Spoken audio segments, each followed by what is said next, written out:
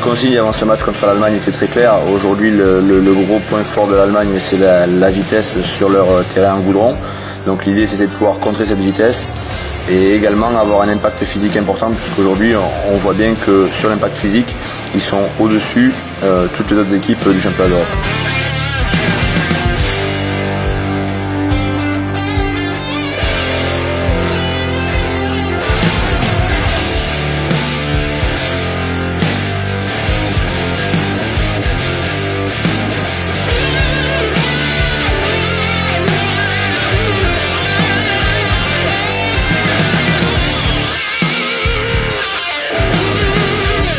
La première entame, euh, donc le premier carton en fait a été complètement raté. On a été débordé par la vitesse allemande et on rentre donc à la période avec un score de 0-2.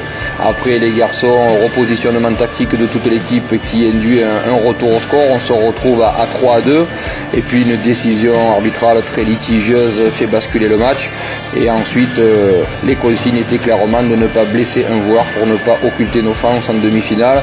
Le score final de 6 à 2 est un petit peu lourd, mais euh, aujourd'hui, le principal, c'est d'avoir tous les garçons en pleine forme physique, pas de blessés, pour pouvoir envisager l'avenir sereinement.